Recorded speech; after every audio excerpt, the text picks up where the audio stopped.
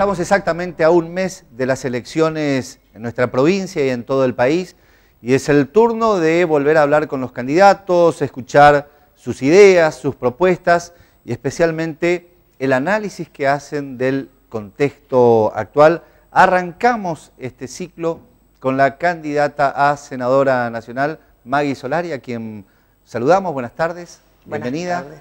Muchas gracias por tu invitación al programa. A un mes de las elecciones, ¿cuál es el análisis en qué contexto estamos en Misiones y en la Argentina? Bueno, me parece que todos los que estamos, estamos de candidatos, obviamente con ganas de ganar y de ganar con un buen margen. En la Argentina, la verdad que bueno, para, para el cargo que yo voy al Congreso Nacional, el contexto de la Argentina lo veo, veo misiones en ese contexto y hago un, un análisis que me es propio, pero fundamentalmente poniendo siempre el énfasis de que justamente no debemos dejarnos contaminar, digo, entre comillas, uso esa palabra, por peleas que no son nuestras. Especialmente la de provincia de Buenos Aires. Totalmente. Ese no es un tema de la provincia de Misiones. Nuestro tema en la provincia de Misiones es definir nuestro destino y nuestro destino siempre va a ir de la mano de nuestros representantes en el Congreso Nacional, en ese contexto que somos diputados, senadores nacionales. Porque creo también, Marcelo, que lo que es nuestra provincia de manera interna, con nuestros candidatos a diputados, o sea, provinciales de la Cámara, tanto como los sublemas en los municipios que están renovando cámaras, es diferente. Ahí creo que hay eh, como una situación de mayor linealidad entre el elector y los candidatos, la política nuestra, del Frente Renovador. Nos conocemos, digamos, acá, nos conocemos, nos se conocen los vecinos. Y nosotros siempre hemos tenido el apoyo de la gente para llegar al gobierno y a los distintos poderes también. Eh, creo que sí, en las ciudades más grandes sucede que hay como un mayor consumo de la gente en cuanto a las peleas ajenas. Por eso digo que eso es un tema como para trabajarlo cada uno, nosotros como candidatos también, la militancia, la gente que está siempre haciendo política eh, en su barrio, en, un asado, en una cena, porque a veces también hay mucha confusión de qué es lo que estamos eligiendo, el rol de cada uno de nosotros.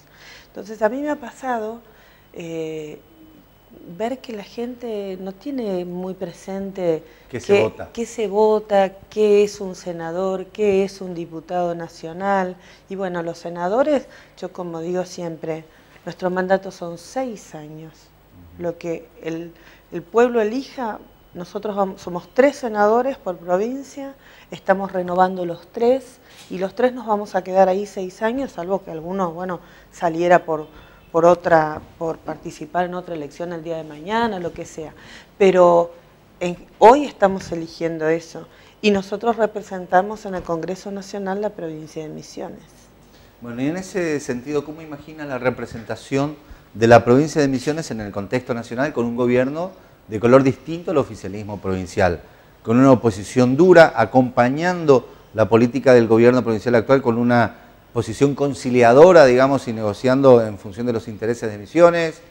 Eh, ¿cómo, ve, digamos, el trabajo de los senadores? Bueno, ahí sí yo estoy mirando mucho el contexto de lo que está pasando en la Argentina, en el país entero y nosotros, nuestra provincia. Digo que estoy observando mucho porque hay, obviamente, acá se, están, se, están, se está distribuyendo el poder adentro, va a quedar distribuido de determinada manera en un congreso. Y yo creo que uno tiene que tener una relación inteligente como la que venimos haciendo con el gobierno nacional desde el Poder Ejecutivo y también actualmente con nuestros representantes que están en el Congreso Nacional. Mi palabra sería la concordia. Cuando te digo la concordia es sí, porque realmente el país está dividido, claramente. O sea, en las elecciones presidenciales ya se vio, en este momento se está viendo esa división. Y yo, la grieta, la, famosa grieta se ensanchó. Bien, entonces yo me pregunto, ¿quién ve la grieta? El que está por encima. Porque si yo estoy en, un lugar y hay una grieta y vos estás en el otro y estamos los dos al mismo nivel, no estamos mirando la grieta. creo que el enorme desafío es poder transitar y caminar por el medio. Por eso hablo de la concordia. Porque cuando uno también se sienta en una banca, está representando un pueblo entero. Y también hay, nosotros ganamos las elecciones en nuestra provincia, de hecho, cuando accedió Macri al poder, lo sabemos, pero también en ese contexto uno tiene que ser respetuoso del porcentaje con el que llegó el presidente en el balotaje al sillón presidencial. Uno tiene que convivir con eso, porque me parece que la democracia es eso. De todas maneras, creo que la pelea va a estar dada entre otros sectores que no son el nuestro, porque de hecho vos sabés que el, el bloque, digamos, los renovadores no estamos conformando hoy bloques, por ejemplo, con el Frente, con quien sí convivimos y formamos parte mucho tiempo. Entonces yo creo que nosotros claramente estamos proponiendo, y es lo que hemos hecho en el Congreso Nacional, una convivencia con el gobierno nacional. desde una posición provincial. Desde una posición absolutamente provincial. Entonces, esto me parece que es una ida y vuelta en la construcción. El otro tiene que ver los votos que tenemos nosotros en nuestra provincia y respetar eso, y nosotros en ese contexto nacional, que es un Congreso Nacional, también respetar lo, lo que vota la gente, porque ahí estamos conviviendo todas las provincias. Pero siempre, y esto lo quiero destacar, eh, nosotros vamos sí a defender lo nuestro y a pedir apoyo para salir adelante con lo nuestro. Creo que esto es un juego de ajedrez donde tiene que empezar a jugar de otra manera el federalismo. Creo que es la oportunidad para eso, para que todas las provincias nos hagamos escuchar de una vez por todas en un montón de temas que están pendientes. Bueno, justamente esa es la pregunta. Eh, está claro el concepto y el marco en el cual usted dice de convivencia, de relación, de interacción con el gobierno nacional. Ahora bien, ¿Sobre qué temas fundamentales? ¿Cuáles son los cuatro o cinco temas que imagino o visualiza usted que va a tener que trabajar en esta relación? Mira, hay muchos temas para, trabajar. Hay temas que están planteados por el, por el gobierno nacional, como es, por ejemplo, la, una reforma laboral, una reforma impositiva. Yo creo que el tema de la coparticipación y con este plus, plus digo, en, lo que es una situación que ya era injusta y conflictiva, el plus de María Eugenia Vidal con su recurso ante la Corte, creo que nos cambia el escenario absolutamente. Cuando vos tenés un presidente que asume que va a mandar un proyecto, un ministro de Hacienda que está diciendo que va a haber una reforma impositiva, es porque yo creo que Macri también sabe que no va a tener opción de rever ciertas cosas. Yo creo que él como, como presidente lo sabe y por eso propone. Ahora, vamos a empezar a ver que esa reforma sea beneficiosa para todos y justa y equitativa, que haya ecuanimidad. Hay un montón de palabras. O sea, dentro de grandes temas hay posiciones de misiones, digamos, sobre las que va a estar trabajando. Totalmente. Yo, ¿viste ese dicho que dice, cuando un negocio es bueno? Es bueno cuando es bueno para los dos, para, vos y para mí. Esto no ha sido un negocio bueno para las provincias. Entonces, yo digo esto porque ahí me parece que la reforma tributaria trae aparejado que hablemos de cuestiones de fondo quién es quién en la composición de una nación. Digo esto porque el centralismo, que no es porque hoy este cambiemos, nosotros seamos no, oposición. siempre, digamos. El centralismo, mira, creo que estamos, que nunca lo pudimos verdaderamente desarmar y plasmar el federalismo. Y yo creo que es la oportunidad para que nos pongamos de acuerdo en esto. O sea, digamos, con el motivo de la, de la discusión por el tema impositivo, la reforma impositiva, incluyendo la laboral, discutir muchas cosas más de fondo. Muchas cosas más de fondo, porque yo creo que ahí está la cuestión de la política, en el fondo de la cuestión. Vos en función de qué aplicas una política, en función del contenido de la política, el contenido que yo le doy, y ahí también vos vas viendo para quién gobierna cada gobierno. Nosotros siempre decimos desde la renovación, y es cierto, que nuestras políticas han sido de alto contenido social siempre. Eso nunca estuvo en discusión en la renovación. Nosotros tuvimos un gobernador como Rovira que aplicó una fuerte política social, un gobernador como Mauri Clos, que actualmente está de candidato cabeza de lista para senador, que continuó un gobierno renovador con altísima, eh, con, políticas sociales muy fuertes. Y este gobierno nacional no es que no las tenga, hay otras con las que yo disiento. Entonces digo, por ejemplo, si vos decís, no tengo plata, entonces no tengo plata. Y si vos decís, a las provincias se tienen que ir haciendo cargo de esto, de aquello, bueno, primero tenemos que ver qué es lo que dice el ordenamiento jurídico, porque las leyes hay que cumplirlas. Los primeros que tenemos que cumplirlas somos los funcionarios, digamos, ¿no? Este, y él como presidente, claramente. Entonces, hay cuestiones que el gobierno plantea para los cuales tiene que modificar lo que dice la ley. Esto es primordial.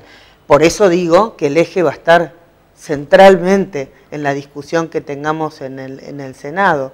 Pero yo te decía, cuando vos decís no hay plata, si no hay plata, ¿por qué vos dejás de cobrarle impuestos como el tema de los automotores de alta, de alta gama. Claro, por eso, digo, si no hay, no hay para nadie, no, claro, no hay para algunos. Entonces decís, no, dejo de recaudar acá, pero le estoy diciendo que no hay dinero allá. Y bueno, y hay cosas que yo te podría decir así, muy de orden Pero está claro la, política y el concepto sobre el cual va a trabajar. Totalmente. Bueno, está claro eso es a partir de la asunción como senadora. Pero está la campaña este último mes. Campaña donde la renovación eh, sacó 12 puntos de diferencia a nivel provincial en las PASO, respecto del segundo, respecto de Cambiemos, pero donde en Posadas eh, le resultó contraria. ¿Cómo va a trabajar Posadas estos 30 días? cómo ve la ciudad de Posadas y cómo ve, en definitiva, el rol de la campaña ahora con el agregado de los sublemas y de toda la lista de diputados provinciales. Yo creo que ahí hay un proceso que es social, sociopolítico, pero que es social también, ¿no? Donde confluyen, me parece, muchas cosas. Esto que hablábamos de los medios de comunicación es un tema. Y es un tema donde yo siempre invito con respeto, Marcelo, con respeto porque cada uno de nosotros somos un ciudadano que vota, y hay gente que a mí me pasó, me pasó con mi kinesióloga, que entré no estaba la boleta de Cristina, me dijo. Y no, obviamente no estaba la... Bueno, pero esto nos pasa. Y esto es algo que nosotros tenemos que asumir, porque uno se tiene que involucrar más. y esto pasa porque vos prendés la tele y, está Cristina con esto, con Estamos invadidos por la pelea de Buenos Aires. Exacto. Yo creo que esto sucede, es una realidad y no le echo la culpa a la gente porque la verdad es que vos volvés de tu trabajo cansado, qué sé yo, pero estás en eso. Entonces en esta ciudad se ve un proceso, se ve más el proceso social. Bueno, en las capitales de provincia, digamos, o sea, el, se contagia la capital de provincia más fácilmente con, con, la capital del país. Totalmente. Entonces, bueno, yo lo que, lo que estoy haciendo, ¿no es cierto?, desde mi candidatura, pero que es lo mismo que están haciendo todos los que son candidatos y ahora se sumaron los sublemas, yo estoy haciendo militancia virtual y militancia territorial que siempre hice, o sea, atender el territorio porque para mí las redes sociales son eh, un efectivo lugar donde vos podés comunicar lo que haces elijas una cosa o la otra. Yo siempre también eh, tengo muy en cuenta la experiencia que yo he tenido en el Parque del Conocimiento, vos sos comunicador y creo que es claro que yo le puse mucho énfasis, mucha garra a poder comunicar las actividades para que el, la gente pudiera consumir más, llegar a la comunidad y que sepa, supiera la comunidad y sepa que y está... Empoderarse, digamos, de todo lo que pasa ahí, que es realmente muy importante. Y trabajé mucho en ese sentido con las redes sociales. Entonces, bueno, uno hace lo mismo, pero el tema es qué comunicas en las redes sociales y qué es lo que estás haciendo. Bueno, el trabajo territorial para mí no se deja porque la gente, eh, creo que tiene derecho a tener un contacto, directo y personal con la persona. Veo sí que en ese sentido hay una mayor evaluación de la población de lo que es la vida un poco más personal del candidato. porque yo en esta campaña, y lo he dicho en otros medios, he tenido así preguntas de mi vida o entrevistas más de perfil y gente como vos que dice, no, es que la gente llama y quiere saber cosas. Cuando hice una, un vivo en Facebook, también la mayoría de las preguntas no fue con contenido político. La gente quería saber qué hace Maggie Solari cuando amanece o cómo sería un día o si tengo marido, novio, perro, gato, aledaños, ese tipo de cosas. Que me parece, cuando te hablo de un proceso, te hablo de todo este proceso también. De modernización incluso del mensaje eh, y de la manera en que se llega a la gente. Y vos sabés que me parece interesante, yo lo uno al fenómeno del consumo y del estar navegando que tenemos todos en las redes sociales. Porque fíjate, el Facebook, el Twitter es netamente político, pero todo el mundo tiene Facebook. No hay ni siquiera edades.